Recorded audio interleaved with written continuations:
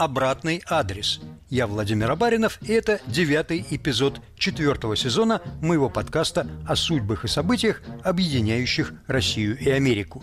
Сегодня, когда российская пропаганда усердно рисует образ заокеанского врага, мои собеседники разрушают этот образ. На злобу дня мы отвечаем историями о тех, кто строил мосты, а не стены.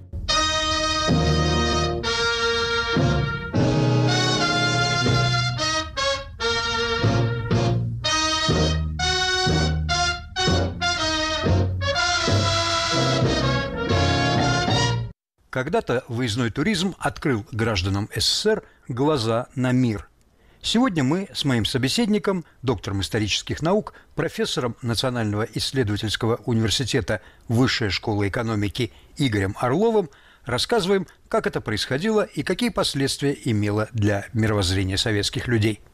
Игорь Борисович, вы со своим соавтором Алексеем Поповым в книге «Руссо туристо» пишете, что советский выездной туризм начался в 1930 году. 257 ударников труда на теплоходе «Абхазия» совершили круиз вокруг Европы. Ленинград, Данцик, Гамбург, Неаполь, Константинополь, Одесса, Москва. В Неаполе они лицезрели живого Максима Горького, который специально по этому случаю приехал с Капри – в следующем году состоялся еще один круиз по тому же маршруту на теплоходе «Украина». Но это были разовые мероприятия. Просто требовалось перегнать теплоходы, построенные на Балтийских верфях, в Черное море. Да, да. На самом-то деле, э, раз э, нужно было перегнать эти суда, э, то решили, в общем-то, использовать их как пропагандистские такой рейд некий, и сделать два вот этих рейса. Так как первый рейс в 30 году прошел на Абхазии очень успешно, тогда повторили в следующем году. Но дело в том, что это проводил не турист. Вот, э, многие считают, что это интурист, который был создан в 29 году, проводил. Нет, это проводили э, профсоюзы вместе с э, комсомольцами там и все прочее. То есть это была экспедиция, так условно говоря, да, или туристическая экспедиция, которая предусматривала вот, э, пропагандистские задачи, потому что интурист не имел, э, как бы так сказать, э, закрепленных в уставе возможности осуществлять зарубежный туризм выездной. Он мог принимать туристов, мог обслуживать проезжающих транзитом и мог оформлять выезд на ПМЖ. То есть вот интурист до 1955 года фактически не имел возможности институциональных и правовых для осуществления Э, выездного туризма. Хотя в 40-е годы в одном из э, вариантов этого устава э, было написано, что, в общем-то, он не запрещен. Но ведь еще в 20-е годы существовала комиссия ЦК ВКПБ по выездам за границу. В 47-м ее ликвидировали, но учредили бюро по выездам и въездам. Это уже была полностью структура госбезопасности. Значит, кто-то все-таки ездил? За этой комиссией и этим бюро было решающее слово – отпустить или не отпустить ну, не то что решающее слово, иногда удавалось каким-то образом обойти в общем-то, эти решения, вот, так, когда напрямую это шло на уровень там, э, политбюро, да, а, ну, в целом, наверное, процентов 90, там, может быть, даже больше шло через Лубянку. И были периоды, когда этой комиссией-то и руководили, в общем-то говоря, генералы от э, МГБ. Потому что комиссия эта возникла, она еще до войны она занималась в большей степени проверки, проверкой выезда за границу именно вот таких по служебным делам, да. А так как выезжали мало, то, э, наверное, 99,9% все это шло через эту комиссию. Повторю, речь шла почти всегда о служебных командировках и только в исключительных случаях о поездках на лечение или отдых высокопоставленных партийных функционеров или выдающихся деятелей культуры – в 49-м бюро упразднили, восстановили комиссию. Вообще это учреждение то и дело реорганизовывали. Зато когда ситуация изменилась уже, когда пошли более-менее большие потоки э, после 1956 э, года, то тогда комиссия по выездам за границу, она переложила проверку рядовых выездов в основном на областные комитеты партии, где существовали свои комиссии по выездам, существовала так называемая тройка старых большевиков – как одна девушка писала в письме, что вот ее пригласили до поездки в ГДР. Ну, ее там спросили, а, собственно говоря, а что Эрих Хонекер говорил на последнем э, пленуме СЕПГ? Ну, такие вопросы, что-то говоря, э, их интересовали все эти страны, вы должны в первую очередь вот это понимать. Поэтому э, вот эти комиссии, они периодически перетягивались между МГБ и партией. В общем-то, как и вся система, наверное, вот, э, советского управления, где было две педали. Была педаль партийная и педаль была госбезопасности. И периодически на разные педали нажимая, э, Сталин и его последователи управляли этим. Э, поэтому эта комиссия имела, конечно, очень важное значение. Но еще раз говорю, когда потоки пошли массовые, понятно, что она просто не могла физически это делать, поэтому в начале 60-х годов все это было передано на уровень областной. Регулярный советский выездной туризм начался через два года после смерти Сталина. Тогда было принято постановление о возобновлении иностранного туризма в СССР, в котором был пункт о том, что и советским гражданам теперь можно ездить в турпоездки за границу.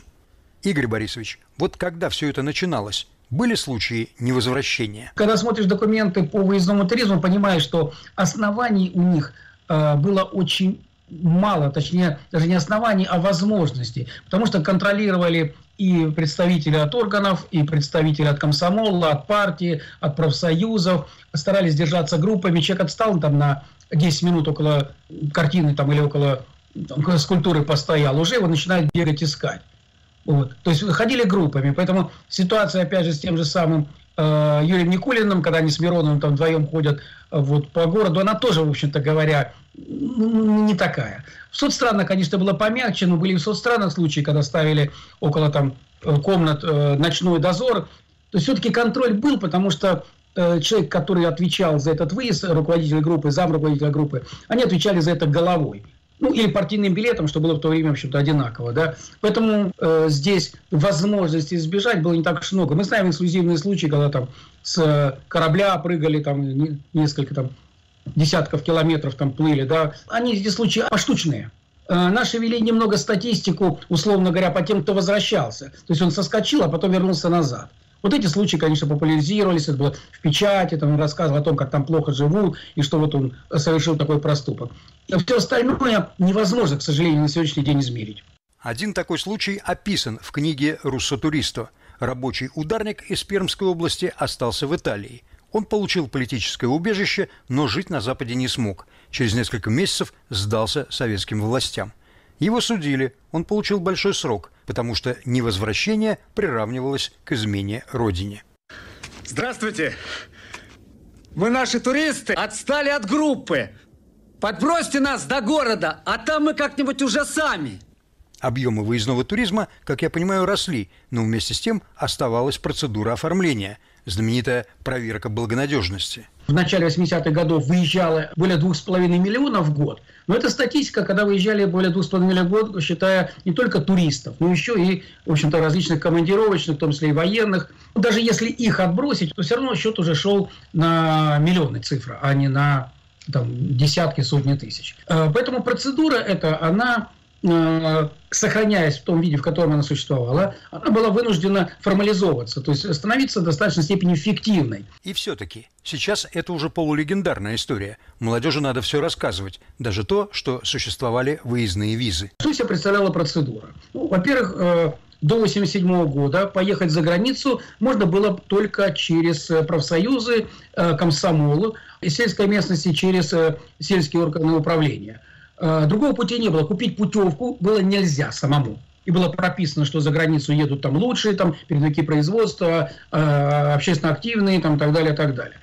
На практике там было очень все сложно, по ряду регионов это очень хорошо видно, когда там э, постоянно э, указывают на то, что что ж у вас так мало рабочих выезжает, нужно больше рабочих. Вот у вас э, много выезжает там бюрократии, много выезжает творческих работников. Нет, нужно, чтобы больше выезжали представители рабочего класса. И по новой каждый год это снова возвращается. Вот нужно, нужно. Но в любом случае вы э, должны были пройти определенную систему а сбора документов и э, отбора. То есть э, сбор документов, который включал там целый пакет, включая знаменитую характеристику за подписью треугольника знаменитого, да, там портком, комсомол, если вы по линии спутника ехали, э, профсоюзы и э, дирекция соответствующая, учреждения там, или предприятия. Вы проходили затем собеседование, разного уровня, как я сказал, допустим, при обкомах партии существовали вот эти вот комиссии старых большевиков, как их называли, где вас вызывали, в общем-то говоря, и спрашивали по поводу ваших вообще знаний о политике, там, об идеологии, о всем прочем. Перед этой комиссией люди зубрили имена иностранных генсеков, названия правящих партий и что там было на последнем пленуме. Но иногда вопросы старых большевиков выглядели чистым издевательством. Я где-то читал, как шахматист Борис Спасский, международный гроссмейстер, ездивший по Москве на «Мерседесе», явился на выездную комиссию валом шарфе через плечо, совершенно не трепетал и ни на какие вопросы просто не стал отвечать.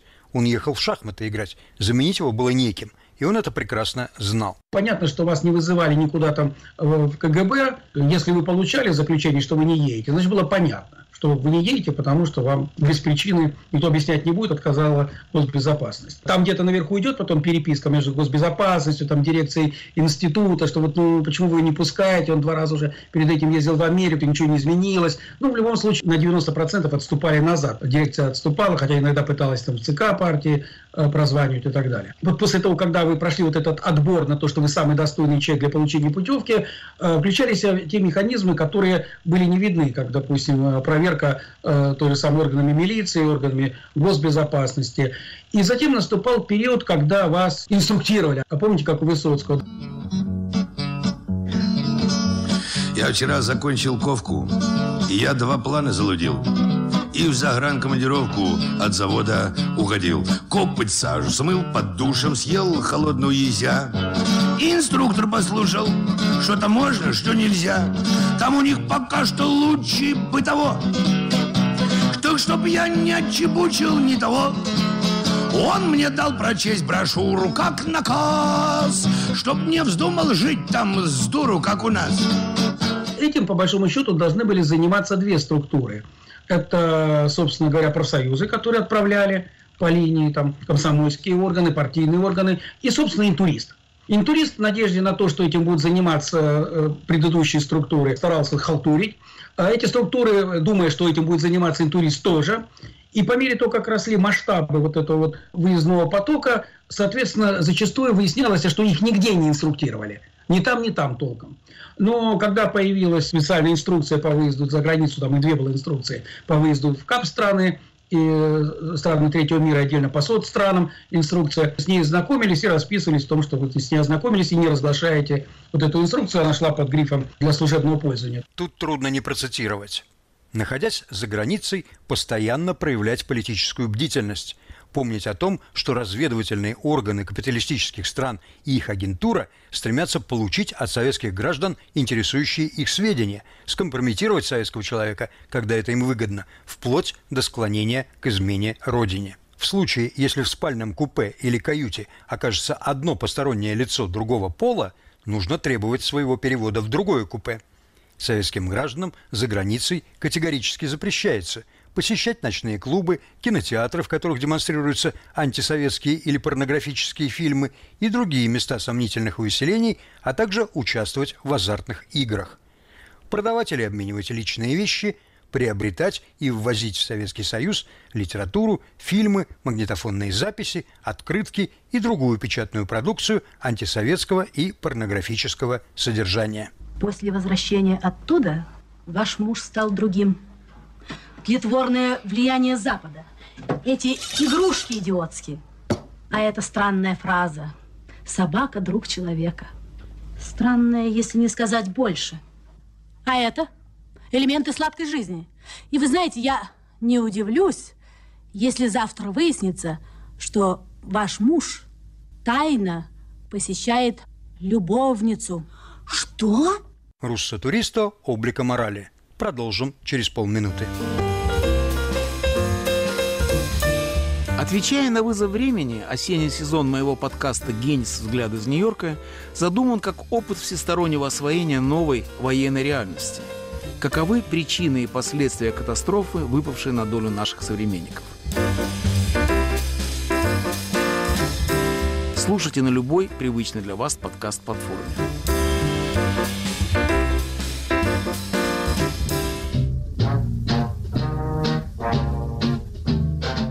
Обратный адрес Я Владимир Абаринов, и это девятый эпизод четвертого сезона моего подкаста о судьбах и событиях, объединяющих Россию и Америку. Кроме того, вы должны были пройти соответствующую медицинскую комиссию. Документы показывают, что зачастую попадали в эти туристические поездки инвалиды, которые не должны были туда попасть. Существовало негласное, так скажем, ну, в документах нередко подчеркиваемое обстоятельство, что в советском человеке должно быть все прекрасно и одежда, и душа, и тело. Поэтому э, людей с э, дефектами открытыми э, внешними э, было рекомендовано все-таки за границу не отправлять. Потом вы уже попадали за границу, и там началась совершенно другая история. Я тоже была в Италии как туристка. У меня осталось хорошее впечатление. Итальянцы, они что? М? Макарон. Навалят полную миску. Угу. Они стоят у тебя внутри, колом. Страшное дело. Это называется спагетти. Угу. Ну, конечно, искусства много. Угу. Соборы там всякие. Потом это Пентагон. То есть это Ватикан. Ну, насчет кормежки я бы не сказал. Я, когда всегда говорю о советской эпохе, я говорю о том, что это не было идиократией. Вся советская история – это постоянный баланс между прагматикой и идеологией. И вот, э, на мой взгляд, многие вещи, они вполне объяснимы вот, э, внутри вот этого баланса. Тогда, когда э, идеология как бы важна, ну, при этом э, еще не менее важно э, как бы то, что советская держава станет там э, великой, потому что победит там тот же Спасский на чемпионате, да, вот периодически тоже этот вопрос поднимался о том, э, выпускать человека или не выпускать. И тут было очень много, на мой взгляд, критериев, которые четко нигде не прописаны, но их видно по документах. Это, условно говоря, есть опасность, что он там останется или нет. Вот первое, да. Второе. Есть ли опасность, что он в контактах с иностранцами, с учеными, там, с музыкантами, с шахматистами, с спортсменами, вот, условно говоря, э, может вести себя некорректно по отношению к стране, дать там интервью или что-то другое. Третий уровень, если у него там родственники. Кроме того, существовал запрет, допустим, на выезд э, семьями ну, боялись, потому что раз семьей поедет, то точно там останется. Да? Но мы знаем случаи, когда руководство какой-то газеты, сейчас не помню, отстояло поездку в тур своего корреспондента с женой и ребенком. Мы знаем случаи, когда э, выпускали семьи музыкантов, причем они специально поженились для того, чтобы выехать за границу, и там оба остались. Тут надо уточнить. Речь, видимо, идет о скрипачке Виктории Муловой и дирижере Вахтанге Жордания. Они остались в Финляндии в 1983 году, но они не состояли в браке, хотя и собирались пожениться – Вахтанг Жордания специально ради побега стал аккомпаниатором Муловой. Кстати, свою скрипку Страдивари из Госфонда Мулова честно оставила в гостиничном номере. В итоге жениться они раздумали, но оба сделали успешную карьеру на Западе. Скрипка Страдивари для Муловой нашлась. Наверное, сотрудники госбезопасности и партийные э, номенклатурщики, они тоже это понимали прекрасно, что в голову человеку не влезешь. Соответственно, они просчитывали риски, которые здесь могут э, возникнуть по каким-то другим обстоятельствам. Мы понимаем прекрасно, что столько сотрудников госбезопасности не набралось бы никогда, чтобы сопровождать все группы. Да? Поэтому соцстраны, многие страны третьего мира э, ездили внештатные сотрудники, в общем-то, госбезопасности, и только сотрудники штатные, они выезжали только в определенные страны с определенными группами, иначе у нас бы в стране все бы были бы за границей э, работники КГБ, если бы они все выезжали. Это миф на самом-то деле вот, про товарища Штатском, который сопровождал каждую группу. Этого вот, на самом деле просто не могло быть, потому что не могло быть арифметически. Перед выездом за грант заполняешь кучу бланков, это еще не беда. Но в составе делегации с вами ездит лично в штатском просто за всегда. А за месяц до вояжа инструктаж проходишь даже, как там проводить все дни. Чтоб поменьше безобразий, а чтобы потусторонних связей, чтобы ни, ни, ни старшие группы каждый вечер проводили совещания, собирали всю группу перед сном, инструктировали ее и так далее, чтобы опять же контролировать вот возможность э, уйти. Э, если вы, допустим, вас кто-то пригласил из иностранных коллег в ресторан, доходило до казусов, да, когда говорили, ну вы не можете вас одну отпустить в ресторан, давайте с вами пойдут еще двое коллег ваших по туристической группе. Вот она говорит, ну меня же пригласили в ресторан. Ну нет, вот если хотите, только с двумя коллегами на дружеский ужин. Могу себе представить этот дружеский ужин. Иногда дело доходило, как оказалось, людей известных в стране до уровня политбюро, иногда до самого до самых первых там генеральных секретарей. Даже так иногда решалось. Но это эксклюзивные случаи были. Вот случай, который был хорошо известен всей театральной Москве. Малый театр собирается на гастроли в ГДР на Шиллеровский фестиваль со спектаклем «Заговор Фиеско» в Генуе. Перед поездкой посольство устраивает прием, к Вилькиной подходит познакомиться какой-то иностранец и спрашивает «Вы, наверное, народная артистка СССР?» На что она отвечает «Я и народная артистка СССР». Эту реплику услышал искусствовед в штатском, и Вилькина была вычеркнута из списка гастролеров. Но театр встал на дыбы, потому что она играла главную роль в спектакле, и Вилькиной милостиво разрешили поехать. Аналогичная история произошла в 1956 году с балериной Виолеттой Бофт. Она родилась в США, и на этом основании ей был запрещен выезд на гастроли во Францию. Первые гастроли театра на Западе – в этом случае театр тоже сумел отстоять артистку. Это был музыкальный театр Станиславского и Немировича Данченко. В обоих случаях гастроли просто теряли смысл без главных исполнительниц. Так что обращение в высокие инстанции иногда помогало. Поговорим о реакции советских туристов на иностранную реальность. Ну, назовем это словом открытие, да, вот некое такое открытие другого мира. И, конечно, прежде всего поражала вот эта потребительская экономика, вот эта рыночность вот этого обилия товаров. Как бы там ни говорили о том, что не каждый может это купить, что здесь много всего, но это только для избранных. А у нас, да, пускай немного не так, но все равно каждый советский человек может это сделать. Второе, наверное, было это вот э, то, что нигде не скрывалась религиозность. Особенно поражало это в той же самой Польше, в стране как бы социалистического лагеря. При этом религиозные люди.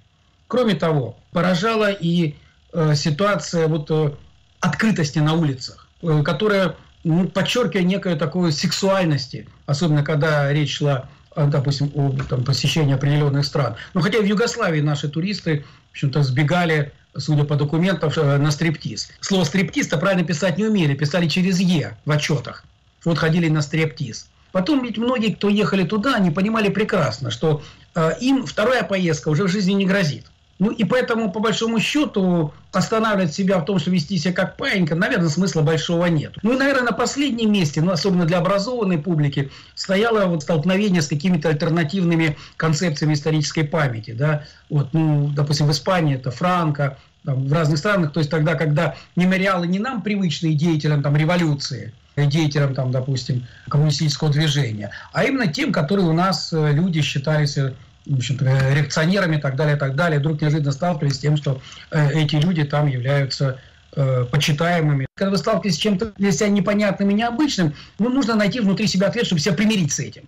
И здесь э, в большей степени не столько пропагандистские убеждения, сколько самоубеждение в том, что, ну да, здесь по-другому, ну а, у нас была война, особенно первые там 20-30 лет после войны, понятно, что мы так сильно пострадали, мы догоним. И второе, что это не для всех что это красивая картинка, а что где-то там есть безработные, есть нищие и, и так далее и тому подобное. Но в любом случае, э, конечно, это разрушало стереотипы сознания. Мы, русские люди, защитили эту вашу красавицу Европу от нашествия татарского ига. И благодаря героическим способностям нашего народа вы не увидели Мамая. Кто слыхал, кто такой Мамай? А теперь дальше мы взвалили на свои плечи и Карла Маркса, и Фридриха Энгельса. И тоже обнесли их стороной. Так вот, скажите нам всем спасибо за то, что вы этой отравы не нюхали. Вы тут хорошо живете, ребят. Но не забывайте. Вот я рабочая женщина, водолаз. От всего сердца даю вам совет. Не дай вам Бог. Ни Карла, ни Фридриха. Потом, э, конечно, табуировано было это, конечно, различные э, связи внешние, потусторонние связи, как говорил Высоцкий, да, э, и особенно внебрачные, да. Этим отличались, в общем-то говоря, наши туристки в Болгарии, да, мы ставили даже часовых на ночь, приезжали, в общем-то говоря, наши дамы одинокие, где, в общем-то говоря, отдыхали с местными болгарскими хлопцами. Ну и шопинг. Тот шопинг, когда наш человек шел за границей на все уловки, которые только можно, вывозил туда э, золото, э, которые фиксировались как бижутерия на границе, там золото сбрасывалось, на это хоть что-то можно было купить, а там покупалась дешевая бижутерия, типа уехал с бижутерии, выехал. Или, допустим, то же самое махеровая нить, да, запрещалось возить ее в клубках, там покупали махер, вязали там полотно какое-нибудь в виде большого платка, дома приезжали, распускали, держали над паром, чтобы нить распрямилась, и продавали этот махер, который здесь был в большом дефиците. Это постоянные заявления о том, что уронил фотоаппарат в воду, а наши зениты там были очень популярны. Приведу примеры неадекватного или, как выражались советские чиновники, недостойного поведения советских туристов из книги «Руссотуристу». В Китае одна туристка вымыла ноги в священном пруду. Другая где-то в Европе отказалась гулять по городу в группе и ушла из гостиницы одна, сказав старшему «мы не репрессированные». Третья ходила в брюках. Завербовали. Но как он мог? Ох, он такой доверчивый. А, рука. Его пытали. Как же я раньше не догадалась. Тема эта бесконечная, но нам пора заканчивать. Как вы считаете, Игорь Борисович, какую роль сыграл выездной туризм в советской истории – ведь это был как-никак прорыв за железный занавес. В любом случае, разрушение стереотипов, что иное – это не обязательно чужое, это не обязательно враждебное, оно просто другое. Оно другое имеет право на существование. Второе – стереотип, который был разрушен, о том, что э, советский человек, он э, самый человечный человек. Что на самом деле там живут тоже нормальные люди, которые точно так же дружат, любят, э, отдыхают. Значительная часть из них открыта. Более того, эти люди, они имеют большую свободу э, выбора больше, большую свободу поведения и так далее, и так далее. И когда они э, сталкивались вот с тем, что вот все, что им рассказывали о загранице, оно немножко не такое, это тоже, конечно, вызывало у них определенный э, диссонанс. И когда они сюда приезжали, они становились распространителями вот этого недоверия к официальной пропаганде вот этого убеждения о том, что советское самое лучшее, вот этого убеждения в том, что э, советский человек самый прогрессивный, что строй, который у нас есть, самый прогрессивный, понимаете? И вот это все вместе потихонечку подтачивало сознание советских людей.